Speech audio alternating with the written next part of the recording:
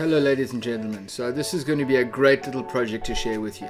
I was contacted by a gentleman called Stefan from Diesel Tech and uh, I'll put his details down below. But basically, I needed to redo the side area of my Defender.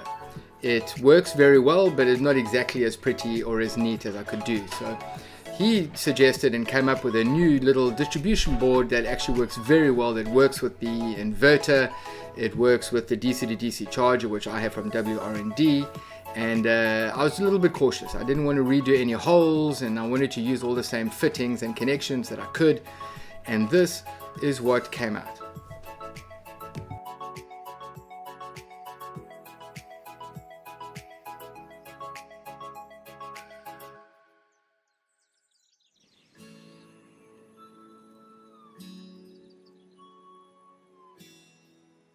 So some of the things it's done for me is it's cleaned up the area on the inside uh, here and made it more flush in comparison to uh, my other unit.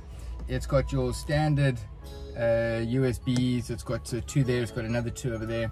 Uh, a reader, a power reader for my deep cycle battery. It's got two of these. Oh, come on. There we go. Two of these uh, um, cigarette lighters. Um, and then the breakers over here which are really cool. I'll explain those in a little bit. And then uh, this is for a light over there. And this is for my inverter. Now the inverter is stuck behind over here which has made a big difference because now it's also out the way. I had to buy a new one. And then over here we've got just a standard house plug and that's connected to the inverter. So if I turn this on I turn the inverter on you can see there it's starting to pull power over there. It's sitting at what's it to 0.14 and if I turn it off you'll listen. The inverter's turning off. So it's made a big difference and it's actually it's really simplified what I've done. I used to have to look at everything to make sure it was working.